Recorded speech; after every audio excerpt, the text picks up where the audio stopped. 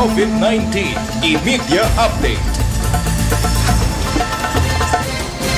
Moratorium para con aquellos mga travelers quien quiere entrar aquí en la ciudad de Zamboanga estaba na Basilan, Sulu, Tawi-Tawi y Sabah, Malaysia area, plano el gobierno local implementar. Este siguiendo con el amenazo del nuevo strain del COVID, donde el Sabah, Malaysia tiene el caso de este. Considerando cerca al Sabah na Pilipinas, particular na border del Basulta area, tiene mga posibilidad que no vaya, tiene mga vivientes estaba Malaysia sin saber él puede entrar na ciudad.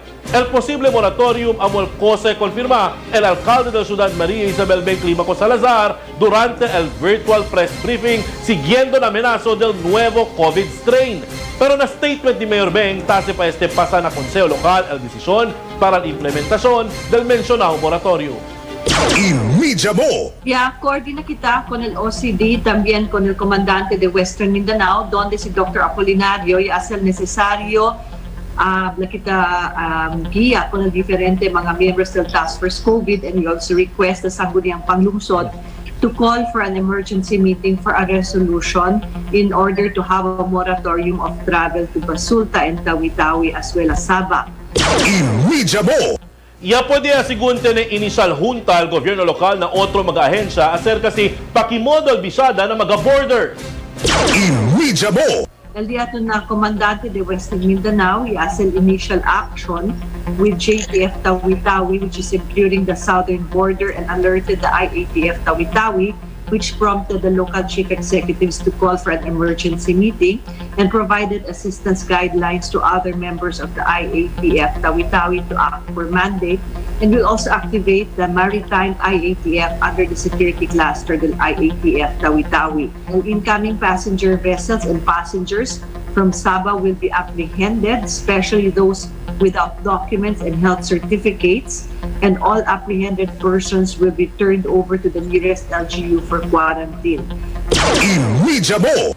Mientras tanto, uno de los mga konsehal con quien ya puede hacer entrevista al News Team en Delantes Aga, el konsehal Vincent Paul V. Lago, no hay pa él recibir comunicación que necesita convenir el mga miembros del Consejo Local para discutir acerca de este pedimiento del mayor para el moratorio.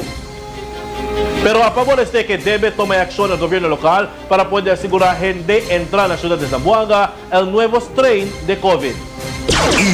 Media Mo. Now, in case that will appear, definitely, no matter what, we're going to attend. Alright. Uh, Okay. Si Cheneman gayot, ano, uh, necesidad. Because we really consider this as urgent. In fact, uh, ante-ayer lang, among councilors sa Kalubandi Amon, we were talking about it already, that uh, we have to do something about the uh, security, especially yung mga barko kentaliga. We have to really monitor. Yes. uh, for causa agad it is a new strain which is supposed to be more contagious 70% more contagious than the current uh, COVID-19 so makamiedo ni Sí, Gateveras sí, sí. So, Okay.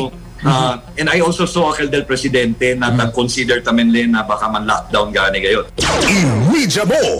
Base na mas reciente informasyon kaya pwede recibir el news team kay mañana esperanzado el Consejo Local ay tener special session para discutir acerca el plano de moratorio.